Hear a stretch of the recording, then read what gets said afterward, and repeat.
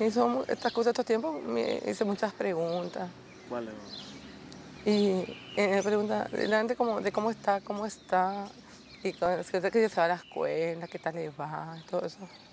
Y sí, bueno, si usted quería seguir a la escuela ya, estar aprendiendo primer grado, preescolar, capaz que primero. Eso sí, me imagino cómo, cómo le estará yendo y todo eso. Son preguntas que uno se hace, que yo le puedo enseñar.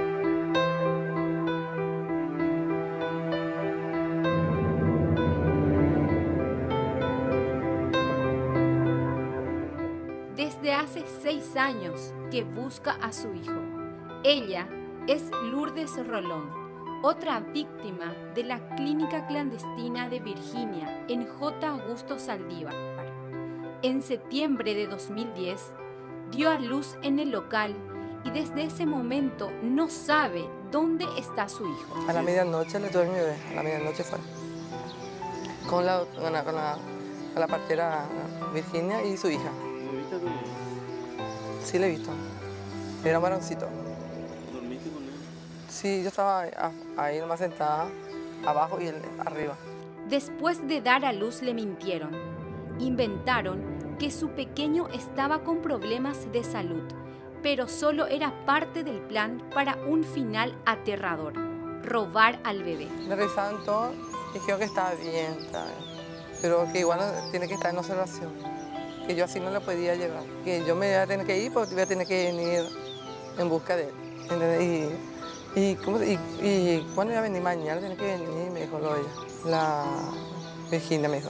Cuando yo salí, obviamente me- Julie me llevó, me llevó y me tomaba conversación y yo en eso visto, miré así reojo, visto un, un taxi con un señor que tenía bigote y le visto a la empleada así, y me digo así, y le visto a la empleada con una criatura sentándose atrás y está el, supuestamente el enfermero amarilla sentado adelante. Y ella me tomaba conversación como que esquivándome del, del té, eh, de la vista, distraerme. Pues llegué a ver eso. Llegué al día siguiente, la doctora eh, Virginia me dijo que mi criatura está en, está en el hospital, en observación.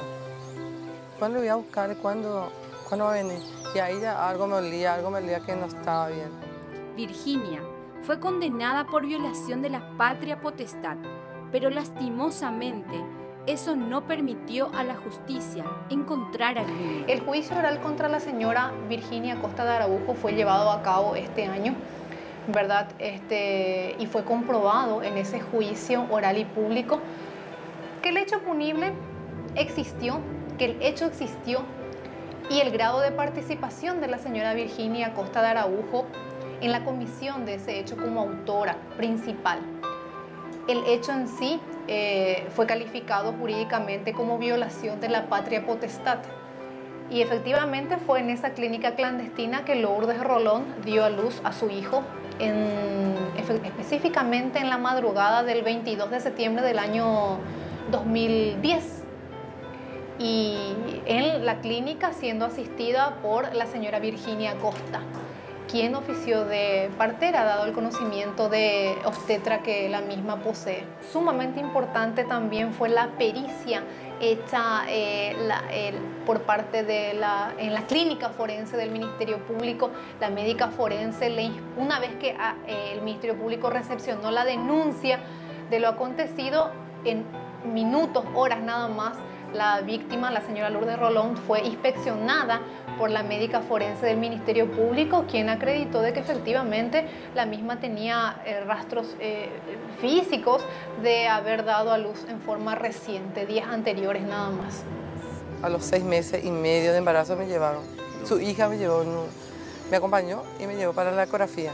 El ecografista fue, ¿verdad?, a juicio oral y él acreditó que efectivamente la señora Lourdes fue atendida en ese local, en esa clínica privada, se le había hecho la ecografía y que efectivamente este, la misma estaba embarazada, ¿verdad? Y el niño, era el bebé, era de, un, de sexo masculino. Desconocemos hasta el momento el paradero del hijo de Lourdes Rolón a pesar de todas de todos los intentos que desde el año 2010 tanto la fiscalía como otras instituciones eh, han hecho, verdad, Eh, fue prácticamente imposible hasta la fecha. Eh, ubicar a ese niño.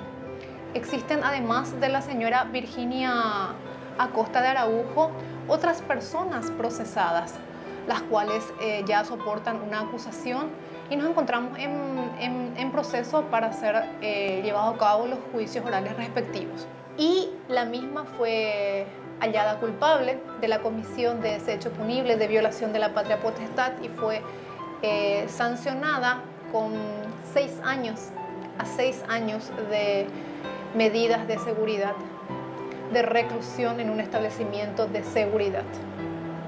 Este es un caso en donde ha quedado plenamente demostrado en el juicio oral eh, la existencia de la criatura y que la misma fue sustraída por la hoy eh, condenada medida de seguridad la señora Virginia Araujo.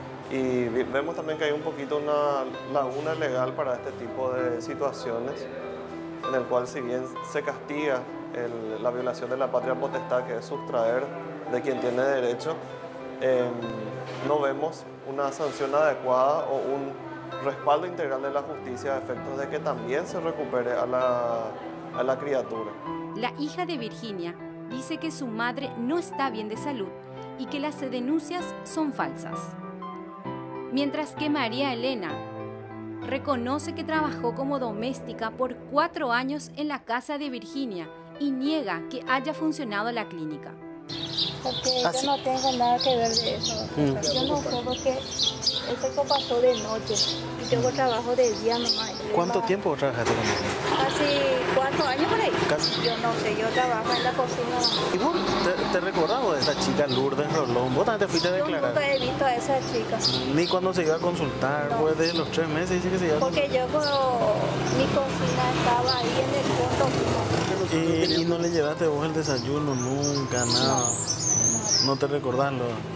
¿A vos te llamaron a declarar? Sí, me llamaron. Yo no hablo más con ellos. ¿Cuánto tiempo trabajaste con ellos? Y casi cuatro años. Casi cuatro años. Ah. ¿En qué año más o menos fue? No sé, no me acuerdo más.